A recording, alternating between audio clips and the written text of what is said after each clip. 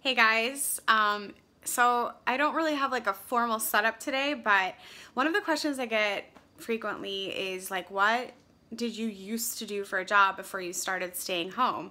And I thought that I could just like answer that question on the fly for you guys today. Um, I'm just in my kitchen and um, yeah, so I went to college for uh, writing. I did expository writing, which is basically just writing that is not um, fiction or poetry. So I did a lot of essays and stuff. I actually thought um, when I graduated college that I might want to go to graduate school to study like rhetoric.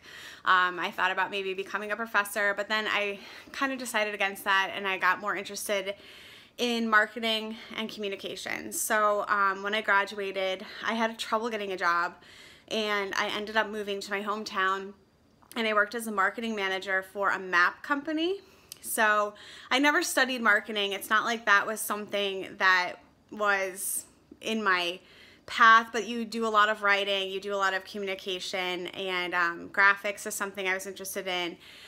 Photography was something that I was interested in. So that lasted about eight months because the company wasn't for me. Um, but I won't go into that in this video. Uh, so I ended up getting a job at a software company back in the town where I went to college. And so they were like a card services company, and I started out as their marketing communications specialist. So that meant that I did a lot of their internal communications as well as their external communications. I organized newsletters, um, press releases, website stuff, um, just kind of filled in wherever they needed help. I also just helped out all the market managers. I helped with their trade show. And after about a year at that company, I actually got like a promotion and I ended up becoming a market manager for their healthcare focus and their business and industry focus areas. So with that, I was visiting clients, going to trade shows, doing more specific communications. I was working with the, the person in my old job to do like newsletter stuff. And I think I worked there for like a little over two years or something. I don't know. But it, it got to be, I think I, I mentioned in the last video, I was traveling a lot which was not my thing. And I also kind of took a look at myself one day and I was like, I never went to school for marketing. I never really was interested in marketing. And a lot of the job that I got, um, oh, sorry, a lot of the promotion job um, was like hard marketing. Like I had to provide numbers and metrics and it was not something that was my forte. So um, I feel like I'm looking all over the place. It's because I never do a video where I'm holding the camera and I'm like trying to figure out where to focus. Anyway, so I left that position um, around the time when Stephen got his first teaching job. And I actually, um, he had been working as a professional writing tutor at the local community college. And I took his position. Um, so it was like a part-time gig, just temporary, because we actually were deciding to move um, to a new area. And I knew that I didn't want to get like a long-term position.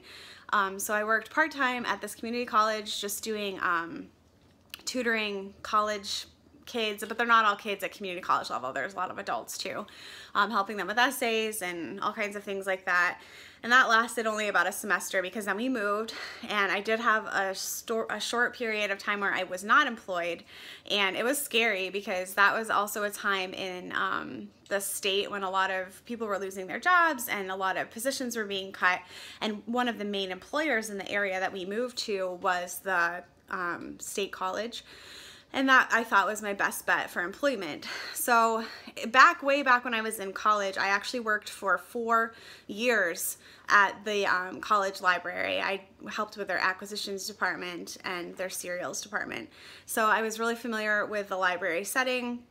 And so there was a position in the library um, at the state college here and it was for a reserves coordinator. So that was to basically run all of these little book lists that the professors wanted to have for their classes so that when their students would come into the circulation desk, they would have specific books that were always guaranteed for the most part to be in the library for those students. And um, it doesn't necessarily sound like a lot but it can be crazy. Um, you'll have to hunt down a lot of these books. A lot of these professors are like prima donna kind of people.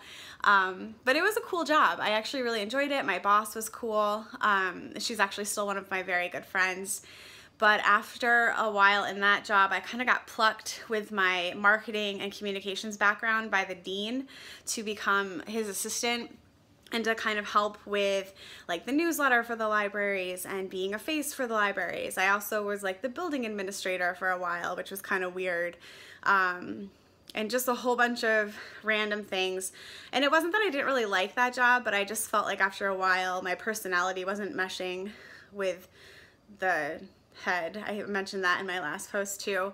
Um, and I just really didn't feel passionate enough about it to continue on um, after I had Ada. So that's when I decided to um, I took the maximum leave that they would allow you to take through the state college, which was um, seven months, and it was unpaid. It was unpaid, but during that time, we kind of did it as a trial run to see if I could stay home or find work, and that's when I started doing all of the freelance writing stuff. So I